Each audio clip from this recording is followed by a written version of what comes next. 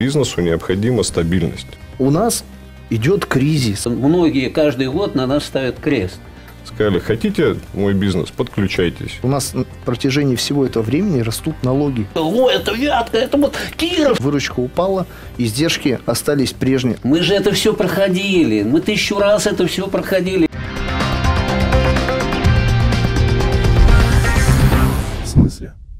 Российский бизнес находится перед лицом нового кризиса, так говорят эксперты в сфере экономики. Предприниматели столкнулись с жесткими вызовами. Это и рост инфляции, и проблемы с экспортом российской продукции и импортом в Россию материалов и комплектующих. Это и нарушение логистических цепочек и уход из страны ряда иностранных компаний.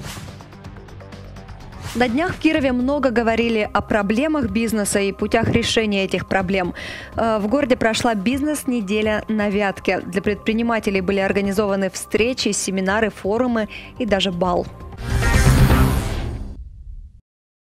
Бизнес-неделя на Вятке стартовала с 23 по 27 мая на площадках Вятской торгово-промышленной палаты и Центра «Мой бизнес» будут обсуждаться такие темы, как взаимодействие с властью, антикризисное управление, экспорт и импорт в новых реалиях, актуальные вопросы налогообложения, меры государственной поддержки малого и среднего предпринимательства и многое другое. Центральные темы – импортозамещение и логистика в новых реалиях. Целый ряд обучающих мероприятий запланирован, э, несколько встреч с федеральными структурами, служба судебных приставов, федеральная налоговая служба, а, банковские структуры. Все, что так, все, все вопросы, которые так или иначе возникают у бизнеса, мы в рамках бизнес-недели постараемся дать на них ответы.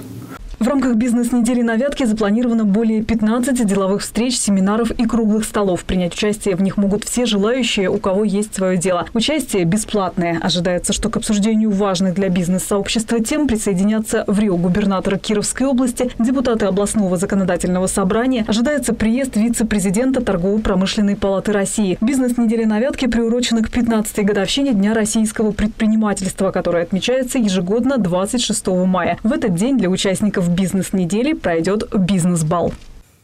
Как чувствуют себя предприниматели на Вятке, особенно сейчас, в непростой экономической ситуации? Об этом поговорим сегодня с нашими гостями. У нас в студии президент Вятской торгово-промышленной палаты Алексей Андрей Усенко, э, президент Ассоциации защиты прав малого и среднего бизнеса Кировской области Валерий Турула и предприниматель, председатель Ассоциации индустрии красоты в Кировской области Дмитрий Кочев. Здравствуйте. Всем здравствуйте. Здравствуйте.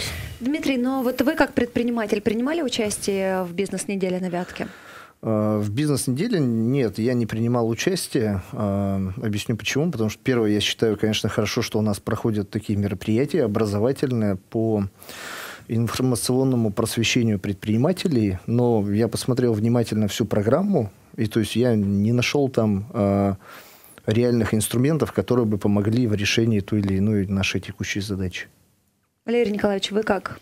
Ходили? Ну, э, нет, я не участвовал, э, и мне несколько непонятна вообще сама организация данного процесса. Если вот когда я был там председателем комитета по экономическому развитию, в том числе по предпринимательству, вот, э, мы каким-то образом это планировали и делали соответствующее установление обратной связи то есть э, кого бы считали нужным, то есть формировался некий сценарий, угу. который должен был предопределить ту проблематику, которая действительно является актуальной. Не надуманной сверху, а в данном отношении никто на коммуникации не выходил, никого Откуда не интересовал. Андрей Леонидович выходил или на коммуникации? Нет, Была какая-то обратная нет, связь? Нет, не было никакой обратной связи. И поэтому, на мой взгляд, э, это мероприятие проводилось во многом чисто формально. Для соответствующие галочки. Ну, Андрей Леонидович, давайте была Андрей Леонидович, он в курсе, мы раньше же вместе работали, он отлично знает, как это все организовывается. На данный момент оно прошло пафосно. Я не просто в курсе, я раньше занимался его организацией, продолжаю заниматься. Бизнес-неделя – это проект торгово-промышленной палаты, инициированный торгово-промышленной палатой а, и организованный, поддержанный центром «Мой бизнес». И, собственно говоря, а, органи... ну, реализованный по запросу предпринимателей. Нам здесь не надо никакой обратной связи. Мы, собственно говоря, ее имеем с точки зрения постоянного взаимодействия с предпринимателями. Те мероприятия, которые в рамках бизнес-недели состоялись, в сюжете говорилось о том, что ожидается. На самом деле, все теперь можно уже говорить, что имело место быть. Э, ну, собственно говоря, были организованы в большей степени самой торгово-промышленной палаты, дальше уже там подключался центр «Мой бизнес». Если коллеги не нашли для себя ну, там, интересных мероприятий, это, собственно говоря, там, э, не показатель невостребованности самого мероприятия.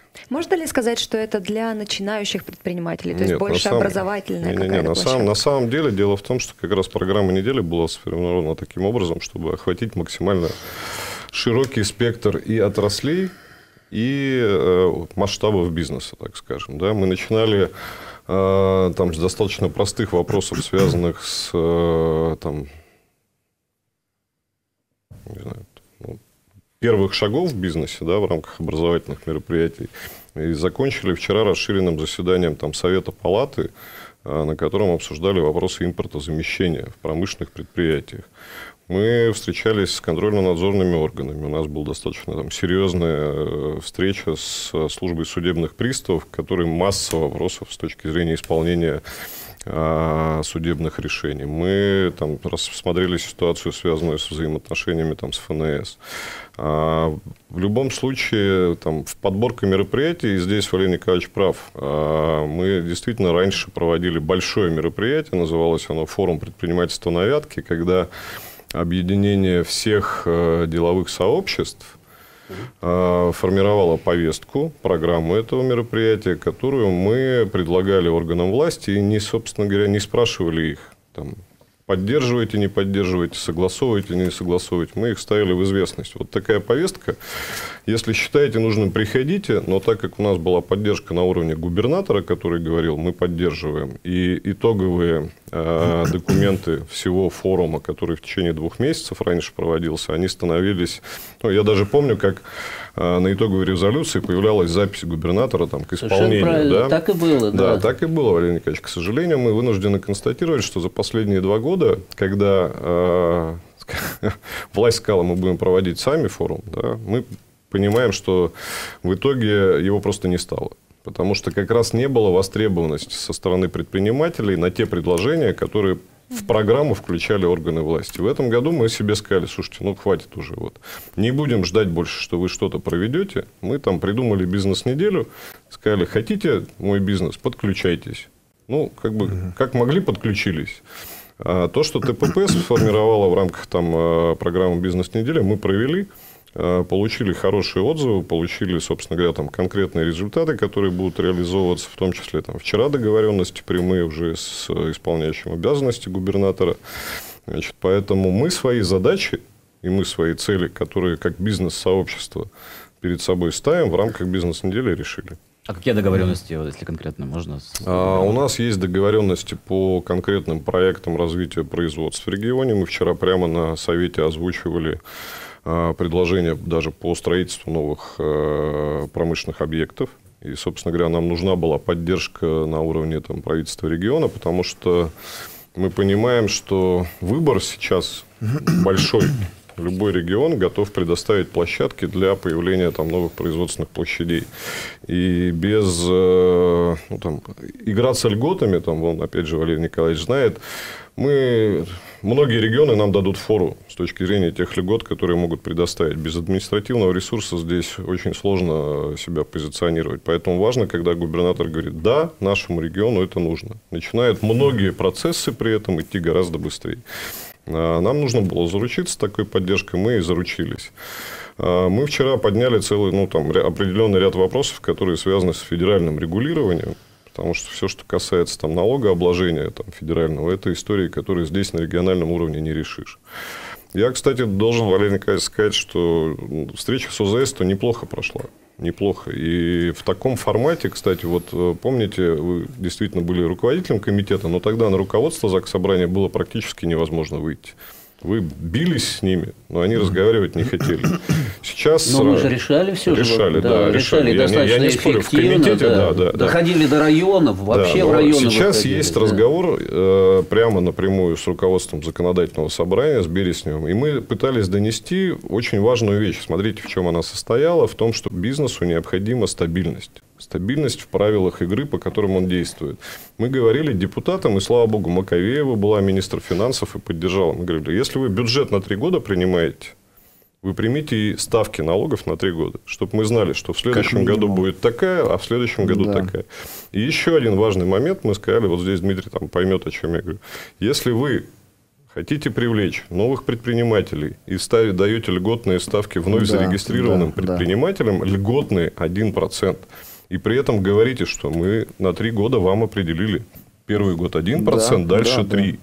А вы своим-то скажите как минимум тоже на три года правила. Потому что, получается, ты новое предприятие зарегистрировал, у тебя 1% и 3%, а наши каждый год, э, прекрасно знаете, сидим и ждем. В прошлом году приняли в июне налоговые ставки, в этом году в январе невозможно заниматься бизнес-планированием, когда ты не знаешь, как, по каким условиям будешь Но это не получится опять так, что поговорили, договорились, а, а на деле все пошло по-другому? Я думаю, что в данном случае нет, потому что мы собрали вот этот, ну, так скажем, людей, тех, кто имеет непрям... ну, непосредственное отношение к этому, да, там, депутата законодательного собрания, министр финансов, и вчера мы озвучили это как раз исполняющему обязанности. И, ну, на наш взгляд, наши аргументы уже не позволяют там а, просто ну, там, не, не сделать этого. Маковеева, министр финансов Лариса Александровна, она нам сказала, Лариса, угу.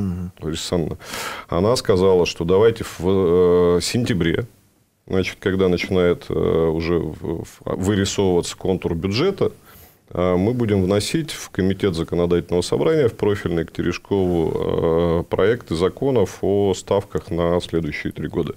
Мы будем дожимать это, вот, ну, это мое будет просто вот вызов мне, честно скажу, потому что я считаю, что иначе там говорить про какую-то там инвестиционную привлекательность и бизнес-привлекательность региона невозможно. Когда мы своим предпринимателям, много там, десятков лет здесь работающим, не можем сказать, как они будут жить через там, полгода. Вот я хочу отметить, что на этой неделе а, неделя предпринимательства проходила не только в Кировской области, и на федеральном уровне говорили о бизнесе много. И вот на днях а, Владимир Путин, президент наш, заявил, что российский бизнес быстро адаптируется к новым условиям. Я зачитаю его цитату.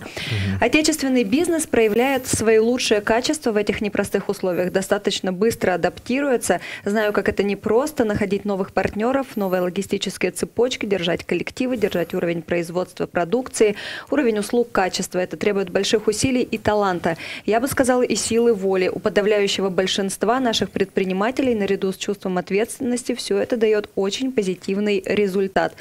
Действительно ли все так хорошо у нас? Потому что вот э, буквально два месяца назад мы собирались, тоже обсуждали, как, э, как теперь мы будем жить, и перспективы были туманные. Все восстановилось? Нет, я думаю, если позволите, да, я думаю, что э, ну, в очередной раз мы слышим желаемое, которое выдается за действительное.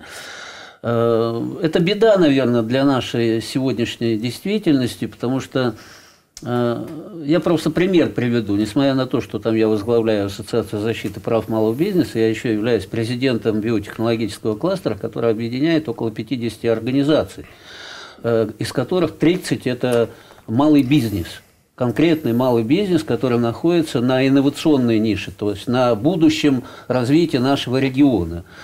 И мы в декабре 2018 года вынуждены были принять решение, что рассчитывать на власть не приходится. Получится – хорошо, не получится – надо рассчитывать только на себя. И наше благополучие, оно определяется, почему мы до сегодняшнего дня живы, потому что многие каждый год на нас ставят крест. А мы существуем не благодаря, а вопреки, да, вопреки да. существуем. Только из-за того, что существует внутренняя поддержка между нашими организациями, членами кластера. Мы друг другу помогаем на безвозмездной основе. Если кому-то нужны на сегодняшний день деньги, и он не может их взять в оперативном режиме там, в банке, мы э, объединяемся и находим эти деньги в оперативном режиме другой бизнес из другой сферы просто занимает и дает деньги на краткосрочной основе для того, чтобы не остановить какие-то процессы. Вот этот вот механизм, и Андрей Леонидович, наверное, помнит, мы его как раз хотели реализовывать тогда, когда вот э, ну, до 2016 года, в крайнем случае, активно мы работали в этом отношении, создавали такие бизнес-сообщества, ассоциации, которые между собой взаимодействовали и готовы были друг другу помогать. Э, единственная надежда, в общем-то, у меня лично существует, это в том, что э, мы нашли на базе, опять же, мой бизнес, возможность объединить и создать некий координационный совет э, руководителей кластеров, а их у нас сегодня уже не один и не два, а уже около шести да, кластеров, то мы договорились о том, что в оперативном режиме мы создали коммуникационную площадку, где обмениваемся информацией и готовы друг другу помогать. Скажем, айтишный кластер, у меня проблема там создать сайты для нового продукта. А айтишники говорят, хорошо, мы быстро, оперативно это все сделаем. Ну, деньги, деньги потом. Нужны бизнес-недели, мне кажется, нет? Ну, вот чтобы обмениваться этой информацией, поддерживать друг друга. Ну, в том числе мы на самом деле видим, э, ну вот, несмотря на все современные технологии, соцсети, там, мессенджеры и все что угодно, мы видим нехватку горизонтальных коммуникаций внутри бизнеса. Я в этом смысле всегда привожу пример, как в Ханты-Мансийск надо было слетать двум нашим крупным предприятиям. Валерий Николаевич помнит да, мы летали, наш полет, да. когда да, два да. крупных предприятия в Ханты-Мансийске познакомились. Одно строительное, второе спецобувь производит. Да. Так вот они там встретились и друг другом начали дружить. Да. Не хватает, нет э, четкого понимания, что мы можем делать, но возвращаясь э, к тому, там бизнес справляется, не справляется. Русский человек – это, в принципе, человек подвига. Я уже, я уже не раз об этом говорил. Создаем проблемы и героически преодолеваем. Мы не можем без того, чтобы вот совсем уже стало совсем, вот тогда у нас все получится. Поэтому... Дмитрий, вот как вам в роли героя? Да. Я, давайте... Чувствуете, что совершаете подвиг прямо сейчас? Я внимательно коллег э, выслушал, и вот хотел бы, наверное, даже сейчас короткий комментарий и пример приведу, думаю, все будет понятно. Вот Андрей Леонидович э, сказал, я вот лично не знал, я знал, что проходит неделя предпринимательства на форуме «Мой бизнес». Я думал, они инициаторы. А оказывается, инициатор бизнес-сообщества. То есть у нас идет кризис. И он идет не три месяца, да, а на самом деле он идет уже там третий год, ковид был и так далее.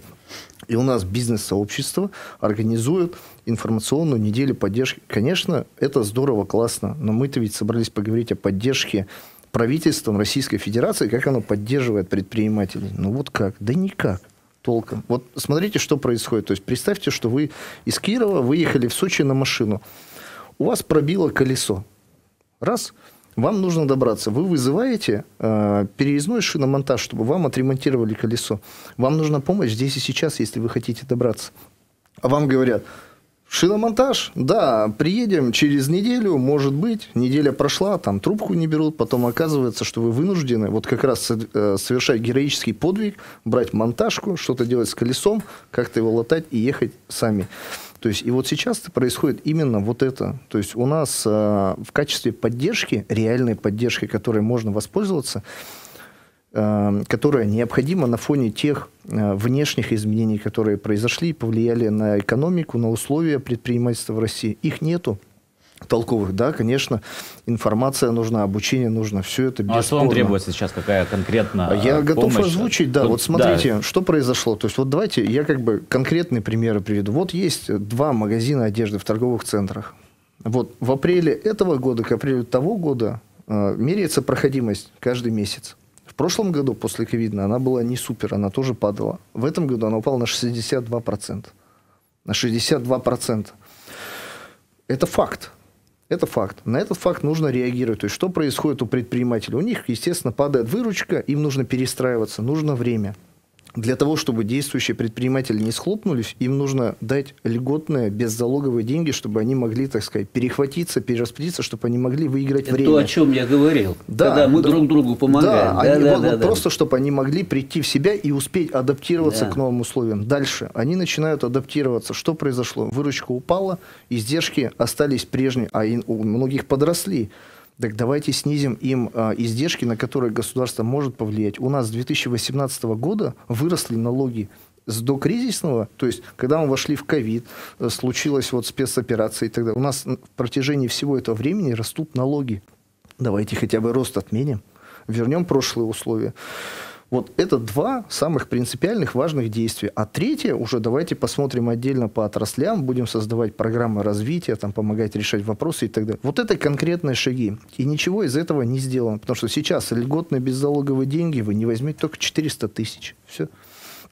И то еще кипу документов должны сделать. Потом, хотите там отмену налогов, я вот сам несколько лет занимаюсь э, тем, э, что пытаюсь добиться э, возвращения условий налога на имущество на уровень 2018 до кризисного года. И пока не получается. Говорят, нет, нельзя. Доходы бюджета. А как э, еще будут люди платить, если у них простаивает, например, недвижимость? Это никого не волнует. Так это не поддержка предпринимательства. Ну, а по проекты развития я вообще не говорю, потому что, ну, этого толком просто вот я лично не вижу. А такие вопросы обсуждали, Андрей Леонидович, на да, неделе? Да, несомненно, обсуждали. И, собственно говоря, то, о чем говорит Дмитрий, с точки зрения там, налога на имущество, эту работу мы там ведем с по-моему, с 2015 да, года, с момента введения налога, да, он у нас там до сих пор меньше, чем в большинстве регионов. Ну, там угу. не, не, далеко не однозначно, все так, так как я там говорю, да, что все хорошо. Там есть внутренние моменты, с которыми надо работать. Угу. Но Видите, я, наверное, Дмитрий, здесь в чем дополнил бы вас. Вот э, я много-много лет там занимаюсь взаимодействием с бизнесом, и я понимаю, что если ты будешь ждать от госструктур того, чтобы они тебе чем-то помогли, Стопроцентно, даже 146, как у нас принято говорить, того, что ты дождешься не того, чего тебе хотелось бы. Да? Они сделают все по-своему. Надо, надо, надо влиять на эти решения. Почему я сейчас говорил, например, про трехлетний период принятия по, налог, по, по налогам ставок, да? полностью. И я говорил, что я буду этим заняться. Потому что я не жду, пока там они что-то подумают и примут. Да? Это надо брать и делать. А с точки зрения вообще, в принципе, вот сейчас позволю себе такой, ну, не знаю, там, фантастический сценарий того, что там, в идеале мне бы виделось э, от государства в качестве поддержки бизнеса. Никакой. Вот я вам честно скажу. Идеальный сценарий – это никакой поддержки бизнеса, и не надо тратить деньги на это. Не надо изымать у бизнеса деньги в виде налогов, да. концентрировать да, их да. и потом на уровне государства решать, а вот так поможем, а вот так не поможем. Я всегда говорю, вы оставьте эти деньги бизнесу. Оставьте триллионы денег, которые за этот период там, десятилетний были потрачены на поддержку бизнеса. Даже государством счетная палата признала официально самый неэффективный национальный проект. Вы оставьте их, не изымайте у бизнеса. Ренту природную изымите, на это пусть государство тратит на социальные цели, оставьте, он сам найдет наиболее эффективный способ их использования. Найдет.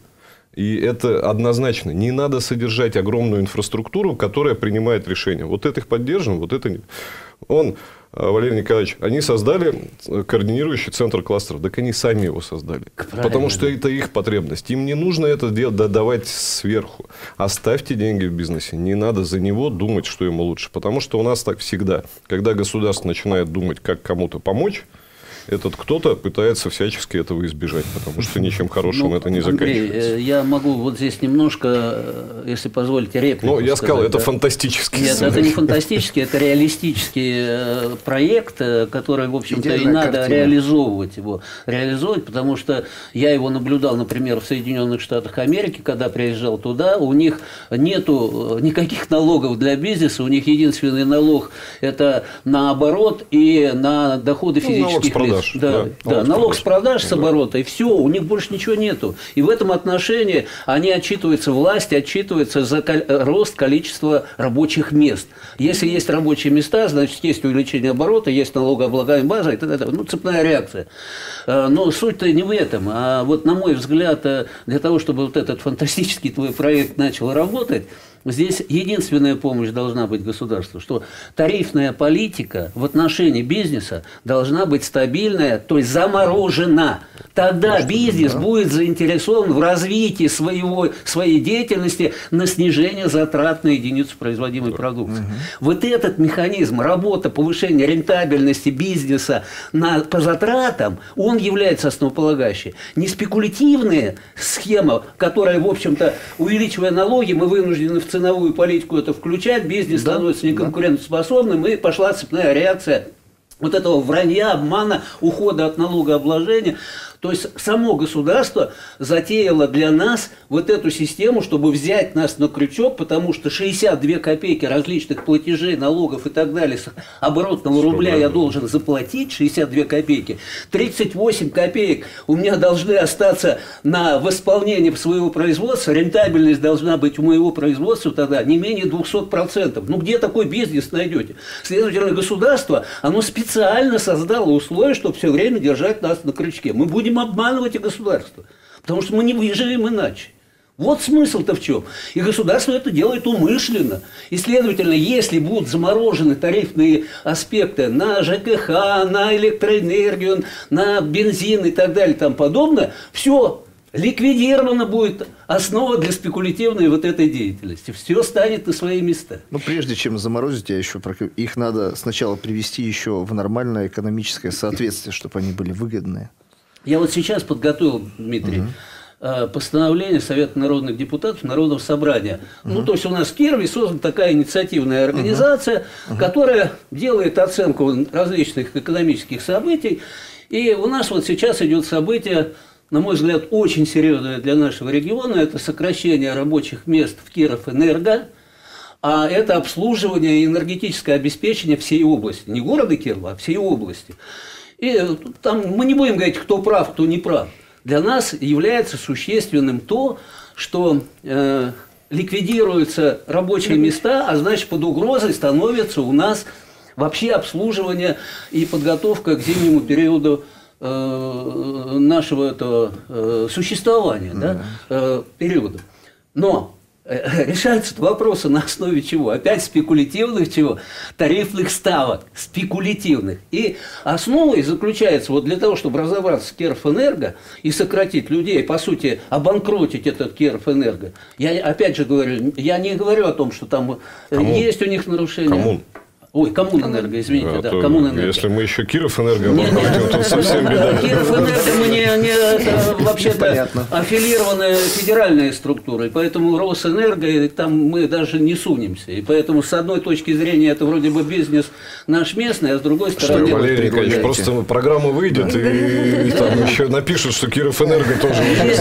А, э, я вот, например, написал в этом постановлении о том, что сама система существующая, она как раз реплика была президента о том, что необходимо вот эти, для того, чтобы стабилизировать тарифы на энергетику, э, необходимо ликвидировать фирмы прослойки. Ну, не секрет, 4-9 копеек себестоимость 1 киловатта на Красноярской ГЭС. Так, а до нас доходит она по 3 рубля. Значит, а неужто транспортировка по, в 100 раз? А бизнес платит по 7,50, по 8. Слушайте, Э, я сейчас, э, да, да перерыв, быстренько, да, да, что на перерыв точку, чтобы поставить. Следовательно, вот эти фирмы прослойки, они находятся на транспортировке. А Коммунэнерго, оно является конечным обслуживающим звеном доведения этой энергии на транспортировке. То есть есть некая естественная монополия. И нельзя допустить, чтобы естественные монополии зарабатывали сверхприбыли на этом деле. И крайним в этом э, заработке является теперь у нас коммунэнерго. Ну, извините, это куку, -ку, это ненормальное явление. А дальше завязан весь бизнес на эту систему. Казалось бы, единичка, да, коммунэнерго, там какие-то местные особенности, а в действительности будет э, лихорадить всю экономику, весь бизнес Кировской области. Вот вам пример. Понимаете? Нам нужно Понимаем, сейчас да? прерваться на минутку, и мы продолжим.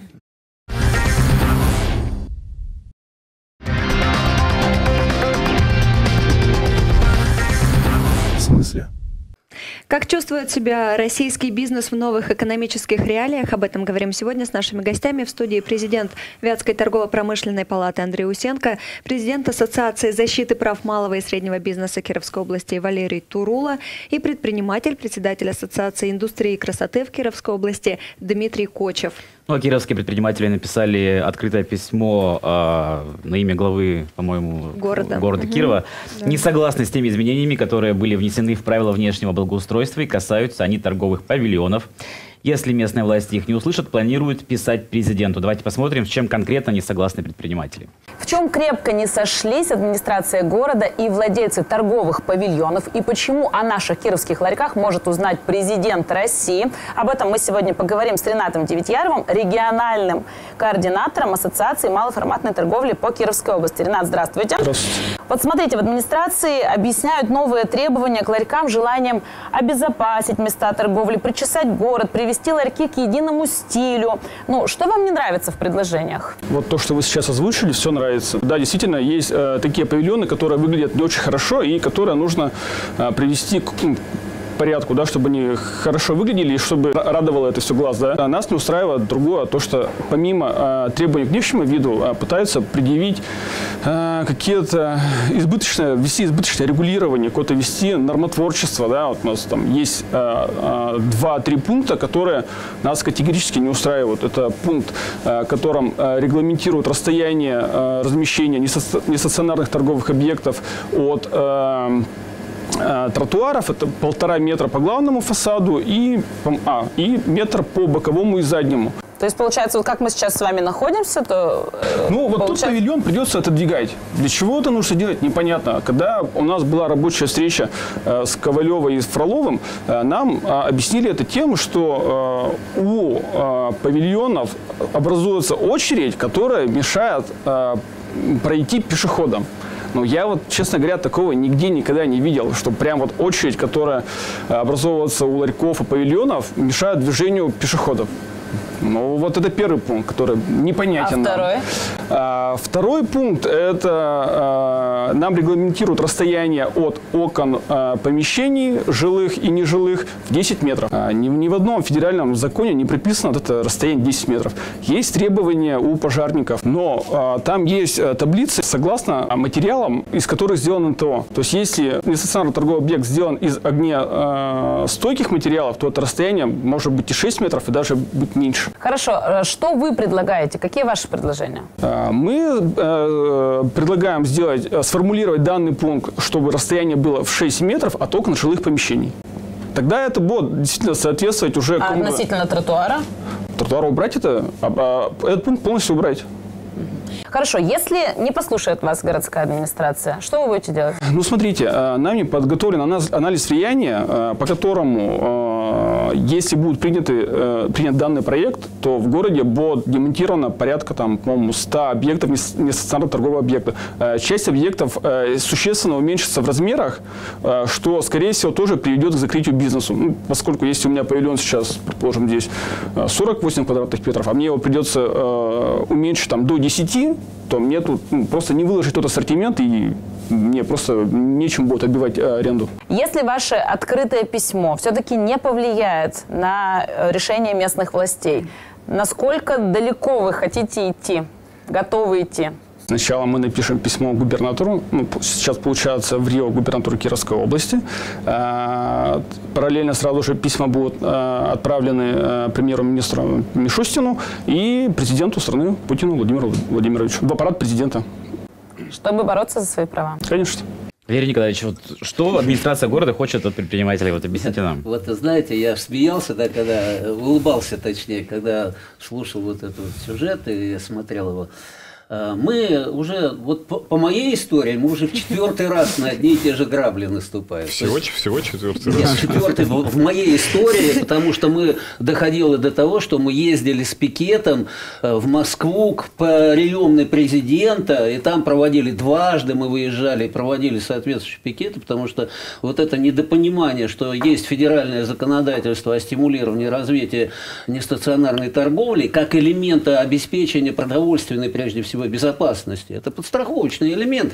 Э, ну, сети к нам вошли, вот сегодня пятерочка там заявляет о том, что ритейл, говорит, мы снимаем и закрываем магазин «Карусель», этот э, перекресток и пятерочка. Для нас это э, серьезная проблема кто возьмет на себя вот это вот в исполнении? Мини-рынки предлагают вернуть Минпромторг. Мы же это все проходили, мы тысячу раз это все проходили. Андрей вон тоже улыбается, потому что, ну, до невозможности. И вы же помните тогда мини-рынок, который существовал уже до вокзала, мы предлагали это сделать фишкой для нашей Кировской области. Предлагали вообще ввести, чтобы каждый приезжал, о, это Вятка, это вот Киров. Так сейчас это... самое время это да, делать, слушайте, потому что сейчас-то есть на, тогда же мы такая. даже доходило до того, что предприниматели лежачую забастовку делали, голодовку. Ничего не помогло Проводили. в итоге. Тракторами приехали, снесли все к чертовой матери. Поэтому одно – это те хотелки, которые нам сегодня декларируют федеральный уровень, и другое – это местные условия игры. И здесь, к сожалению, я должен опять проконстатировать, что вот это, что предлагается, скажем, э, ну, реально, э, ребята просто, они не владеют всей полнотой информации, всей этой истории, которой мы сталкивались, да, они пытаются повторить какие-то шаги, но они не будут эффективными. А что делать-то нужно? Эффективными? В данном отношении я считаю, я абсолютно убежден, что необходимо э, требовать э, и различными вплоть до силовых методов, ну, силовых я имею в виду, там, митинг, там, пикет и так далее. Вы же помните, мы Ой, тогда... знаете, как у нас заканчивается? Не. Тихо, тихо, тихо, вы рекомендуете, не рекомендуете, а мы тогда ходили, группа это маленького... другое время маленьких- было, Не тогда, надо может быть, другое время. Может быть, надо к самое Андрею время. Леонидовичу обратиться, То же быть, самое время. может помочь. Следовательно, я закончу мысль. Следовательно, вот эта вот ассоциация, она должна сейчас сесть за стол переговоров с реально ответственными лицами города и искать вот это вот, э, создавать некую компромиссную комиссию и э, находить э, компромиссное решение. Потому что все вот это, сегодня они выполнят эти меры, завтра появятся совершенно другие меры. И мы же отлично понимаем, а где здесь, откуда ноги растут. Это растут от кру- крупного торгового бизнеса и растут ноги от производителей этих торговых павильонов. Мы же отлично идти на уступки ваши, садиться за давай. стол Это переговоров. город не на уступки, город должен выполнять свои функциональные обязанности. 131 закон, федеральный закон о местном самоуправлении, он требует от администрации города организовывать малую торговлю. Давайте для паритетности я выскажу вот немножко противоположное мнение. Отчасти, конечно, поддержу. То есть вот надо понимать, что ведь э, все согласятся с тем, что город нужно приводить в порядок. Мы можем посмотреть там европейские города или еще любые там штаты, все что угодно возьмите, любую развитую страну. Город красивый, все здорово, все хотим жить в таких городах. Город Киров не исключение, его нужно приводить в порядок. Если вы посмотрите, например, везде кладут брусчатку, ведь всем нравится, прекрасно, хорошо ходить, ноги сухие. То есть и э, приведение в порядок, вот нестационарная торговля, она, конечно, нуждается в регулировании. Нуждается. Но нужны правила, нужно сначала обсудить, сделать их правильным, принять их на длительный срок. Потому что вот здесь э, ряд требований, я их тоже прокомментирую. Э, я считаю, конкретно одно из требований объективное. А, но другой вопрос, когда? То есть сейчас-то что происходит? То есть все нужно делать своевременно. Вот сейчас приведение города там в порядок за счет ущемления прав нестационарной торговли, наверное, не самое своевременное, потому что, повторю, у нас третий год идет кризис, и то есть вот, ну, люди там открыли ларек, там как-то работают, пускай работают, оставьте их там на пару лет, пусть они Ну работают. так, это может растянуться тоже на 10 лет и А, дальше, нет, и никогда время и не будет предложите им альтернативу. хорошего. Предложите им какую-то альтернативу, чтобы они не потерялись, не вынуждены были закрыться. И вот тогда это как бы в этой концепции ложится нормально. Потому что требования, вот, например, Валерий сказал, там, они несущественны. Вот я владею, например, коммерческими помещениями. И да, я согласен. Вот есть помещение, у меня лично нет, у коллег есть. Когда ларек стоит прямо перед входом, и он загораживает, то есть человек вложился, например, в недвижимость. Он на первом этаже, у него тоже магазин продуктов, а перед ним ставят вот ларек, и хорошо, если это вот э, один из э, сетевых ларьков, в том числе вот как выступающий, он красивый, все здорово, а есть ведь зайти страшно, там мыши бегают, там Дмитрий, что вы попало. знаете, вот э, Поэтому немножко вы здесь не владеете нужно здесь урегулировать ситуацию. Он ларек-то не сам появляется, и киоск, а он э, идет в согласование соответствующей комиссии, и там проходит целая процедура согласования. То есть сама же администрация сначала выдает Конечно. разрешение на установку и этого здесь ларька. еще одна проблема-то она заключается, Ну, вот они что процедуру. не земельный участок. И для нас это вот, а выделяют некое пространство, оно называется торговое место. Вы понимаете, нонсенс-то в этом еще заключается. Почему не защищен предприниматель со своим киоском? Потому что ему не выделяется место. Ему выделяется торговое место, некое пространство, вот как рекламный щит, понимаете, да? И, и в этом отношении он становится постоянно незащищенным. Он недвижим, э, вот эту недвижимость, э, вот этот переносной киоск, он тоже не его получается. Он есть его, но он не его, потому что он должен висеть в неком пространстве, а земельный участок не оформляется. И поэтому разговор о том, что 10-6 метров, он становится несущественным, потому что земельный участок не размежован и не выделен под этот объект. Вот мы еще заговорили Понимаете? о мини-рынках, мы провели опрос среди кировчан, давайте послушаем, что они говорят. Да, помимо не по мини-рынке. Ни в коем случае. В магазине все достаточно и дешевле. А там одна грязь и одни крысы. Желательно. Почему? Ну, допустим, вот возле Комсомольской площади был рынок. Всегда свежие овощи дешевле. Если организовать рынки таким образом, чтобы там было сертифицировано, или как минимум а, выбирать поставщиков, а, этих же а, владельцев сельхозпредприятий, таким образом, чтобы продукты поставлялись качественные, отборные, то мне кажется, это будет самый идеальный вариант. То есть можно подобрать что-нибудь под себя и поговорить с людьми на самом деле, потому что продавцы на рынках – это такие очень, насколько я помню, опять-таки душевные люди, с которыми можно а, поговорить, они расскажут, откуда, что, как привезено. Если это будет сертифицировано, почему нет? На рынках обычно дешевле, если по оптовым ценам. Я жил в частном доме в небольшом городе, далеко отсюда. И там на рынках мясо, лучше огурцы и все. В общем, люди, не знаю, как-то на совесть возят, что ли. Может, вообще, ну их эти ларьки вот так вот выйти и разложить я... на земле, и, и предпринимателям можно не становиться я так вот, знаете, продавать. Э, закончу вот реплику на Дмитрия, да, что там э, ярмарки и так далее, там подобное, они должны там квалифицированы.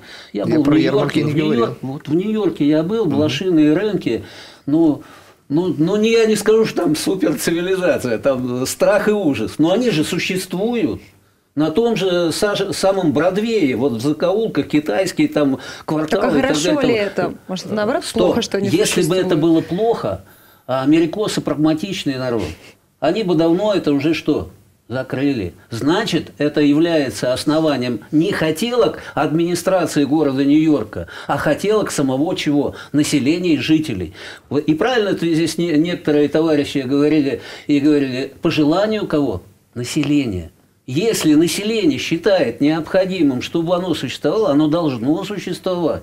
А не так, как нас тогда водили. Давайте рамки. Помните, Андрей? А население да. желает? Вот сейчас я слышал, Но что говорят население... о сертификации, то да, есть все равно да. хочется быть уверенным а в вот, том, что продукция а здесь безопасна. мы должны с вами четко понимать, что в данном отношении на рынке на ярмарке существует администрация, которая берет на себя ответственность за то, что торгующие или арендующие торговые места на этой ярмарке предприниматели, они вышли с продукцией, которая как минимум сертифицирована. Но здесь есть еще одна особенность. Э, приехали э, наши предприниматели, и мы с Андреем Леонидовичем бились всегда за то, чтобы в наших вот этих местный производитель реализовывал и имел да. возможность реализовывать свою продукцию. Да. Там вопрос стоит делает самосертификации. Знаете, что это такое? Да? То есть, прежде чем он выходит, он э, заезжает в СЭС, СЭС ему дает, что да, безопасно это. В чем проблема? Проверить вот эту штуку, запуская на торговое место этого предпринимателя. Поэтому я думаю, что вот эти вот вещи, сертификации, они уже давно решены. Э, и мы болели тогда с центральным рынком-то занимались, когда наоборот не пускали наших производителей торговать, а говорили, давай мы у тебя оптом заберем по бросовой цене, и мы будем торговать твоей продукцией. Вот это вот проблема. Администрирование этого вопроса, управление, правильно Дмитрий сказал, что это должно быть регулируемый процесс, но он должен регулируемым быть не с точки зрения интересов администрации города, а с точки зрения э, жителей, жителей города. Да, вот это, это вот еще задача. о продуктах продуктах на неделе еще был э, интересный скандал. Не, Андрей вот хочет тоже Из, что-то сказать. Да, да, да. Вот сейчас обсудим. Из-за сыров 24 мая во время своего выступления в Госдуме известный интеллектуал Анатолий Вассерман а, раскритиковал качество кировских сыров, и за сыровара вступилась Мария Бутина, и мы с ней пообщались. Давайте послушаем, что она говорит. Я могу сказать, что мы прекрасно дотягиваем не только до европейского уровня, но и для, до общемирового стандарта, поскольку вопросами качества кировской молочной продукции я занимаюсь уже давно, и могу сказать, что в стране действительно самый лучший творог производят на вятке, и э, есть прекрасные сыры, у нас даже есть специалисты иностранные, в том числе, которые помогали готовить, например, так называемый вятский пармезан. Поэтому критику я эту совершенно не принимаю и считаю, что, конечно, государственная поддержка, безусловно, нужна. Нужны льготные кредиты, прежде всего длинные кредиты для бизнеса, чтобы развивать ту сферу, которая является ключевой, в том числе да, для Кировской области. Я качеством более чем довольна. Дмитрий, вот согласились отчасти с, с Марией Бутиной? Да, я согласился, услышал. Мы же все-таки собрались про поддержку предпринимательства. Длинные деньги, длинные кредитные деньги на 5, на 10, на 15 лет. Таких инструментов у нас крайне мало. Вот это конкретное предложение. Вот у нас осталось буквально пять минут. Э, можете, может быть, Андрей Леонидович, вы подвести какой-то итог э, по, и по неделе предпринимательства? Как вы думаете, какие вот э, меры поддержки уже из озвученных, что будет реализовано действительно в ближайшее время? Что можно реализовать в ближайшее время? Ну, Коллеги, если коротко, сыр у нас действительно вкусный и настоящий. Кстати, Вассерман нам написал, мы ему писали, он ответил, что вы меня неправильно поняли, сыры нормальные. Не знаю, как там Вассерман, но те, кто понимает в сырах, действительно оценивают их по достоинству. И я вам могу сказать, что а, на примере Филиппа, который там реализовал это в Кировской области, можно вот понимать, что такое, собственно говоря, предпринимательская деятельность. Когда ты приезжаешь и в то, во что никто не верит, то, что в Кирове там на вятке можно сварить пармезан настоящий, а ты берешь и ну, делаешь. Ну, и вот, и вот каждый предприниматель, говоря, штаммы как раз. Каждый предприниматель в своем там, деле занимается с, ну, преодолением да, того, что да. кажется невозможным. Если подводить итоги, вы знаете, вот и по вопросу там, нестационарных торговых объектов, по вопросу поддержки, по вопросу там, бизнес-недели, все, что мы рассматривали, я могу сказать важную вещь. Очень странно, что у нас зачастую получается, что ну, вот на примере э, там, НТО администрация пытается заставить бизнес сделать город лучше. Но с этой бы энергией они бы занимались своими делами, скажем так, да, и делали его по-настоящему лучше. А системно, если говорить, то надо не заставлять. Надо садиться всем вместе. О. И у нас у всех должна быть одна цель. Город сделать лучше, чтобы да. жить было приятней. Вот мы вчера там с коллегами общались, должна быть... У каждого предпринимателя есть большая цель, которая дробится на маленькие. И он, оценивая результат каждого действия, понимает, идет он к этой большой цели или нет. У нас, к сожалению, этого нет на уровне государственного управления. Вот мы вчера смотрели же новый, новый исполняющий обязанности губернатора. Да, вот как бы вокруг чего объединиться? Да, вот как сделать так, чтобы выбирать каждый раз правильное решение или нет? Вот у меня там, ну, мое такое предложение, соображение. Давайте попробуем сделать так, чтобы население Кировской области не уменьшалось а лучше увеличивалось. Да. И вот поставим росло. себе это как... А это дальше будет, Дмитрий, угу. понимаете? То есть, они не будут уезжать, если будет увеличиваться благосостояние. Вот угу. ставим большую цель, и потом каждое решение оцениваем с точки зрения того, идет да. оно Поддерживаем. на пользу вот этой большой цели или нет. И то же самое можно делать в рамках городской администрации. Большую цель поставить и к ней идти. Понимая, и тогда каждый будет понимать, что это решение принято, потому что вот так вот. Да. Потому что иначе мы будем...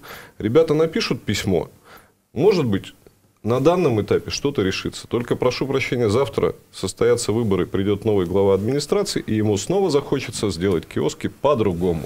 И они снова правильно. будут писать письма, потому что не, нет стратегического направления развития ни города, там, ни региона. Есть что добавить вам, Дмитрий? Поддерживаю полностью. Думаю, э, отличное завершение нашей интересной беседы. Ну, э, здесь несколько, как это, Ложку, ложку дегтя. дегтя да, ложку дегтя в бочку меда. Значит, э, мы занимаемся этой проблематикой развития территории, о чем как раз говорил, что районы должны поставить перед собой задачу именно развития территории с точки зрения ее, чтобы люди там хотели жить, рожать детей там и продолжать, и продолжать, и продолжать, то есть э, повышать свое благосостояние и гордились бы этой территорией. То есть этой тематикой мы занимаемся с четвертого года. 2004 года. И мы пытались э, сделать э, несколько прецедентов на базе Котельнического района, на базе Шабалинского района, на базе Кикнурского района и так далее и тому подобное. Все вроде бы получалось до определенного момента, пока не, реаль... не начинал реализовываться вот этот вот э, программный процесс достижения поставленной цели. Как только начинался этот процесс, немедленно глав администрации убирали и программы закрывали. Поэтому э, говорить и понимать это одно, и мы можем и обязаны это делать. А вот будет ли оно делаться, учитывая ангажированный характер э, формирования финансовых потоков, где наши интересы, к сожалению, остаются где? в стороне, а все нацелено на то, чтобы были сформированы конкретные финансовые потоки на долгосрочной основе. И любая наша попытка достичь своих собственных целей, она будет нарушать вот эту вот намеченную программу движения финансовых потоков. Поэтому есть желания, и они хорошие желания, и морально-этическую имеют сущность, и экономическую сущность, потому что экономика – это больше всего психологическая э, деятельность, взаимоотношения людей, взаимоотношения людей для того, чтобы удовлетворять свои потребности. Правильно или нет? По, по логике-то вещей. Правильно. Мы же производим продукт правильно. не для себя, мы производим продукты да. для других. Вот да, о чем идет речь. И, следовательно, если мы эту задачу действительно произведем, и здесь абсолютно прав Андрей Леонидович, э, в ранг государственной идеи, о чем сегодня президент все время говорит, да, у нас отсутствует государственная идея. Где наша идеология? Где? Вот она, государственная идея. Если она будет возведена действительно в ранг уже государственной политики, тогда и все налоговые процессы, кредитные процессы, все станет на свои места. Все будет нацелено на человека, на его развитие, угу. на э, повышение уровня благосостояния. Мы будем надеяться, что нужные люди посмотрят эту программу. Ну, можно, я, возможно... можно я коротко? Вот, да, вот, чтобы мы вот прям конкретизировали обе реплики, давайте добьемся того, чтобы у нас временно исполняющий обязанности губернатора поставил в нашем регионе и согласовал и с Заксобранием, и с депутатами цель нашего региона, и мы все начали к ней стремиться. Вот, вот это конкретное действие. Пусть это будет итогом беседы. Но она уже у нас была один раз. Мы проходили, и потом чуть в тюрьмы не сели за это дело. Спасибо, что пришли сегодня, обсудили важные для региона вопросы. А, я напомню, что у нас в гостях сегодня были президент Вятской торгово-промышленной палаты Андрей Усенко, президент Ассоциации защиты прав малого и среднего бизнеса Кировской области Валерий Турула и предприниматель, председатель Ассоциации индустрии красоты в Кировской области Дмитрий Кочев. С вами были Екатерина Зубарева. Дмитрий Житарчук. Всего доброго. Всего доброго. До свидания.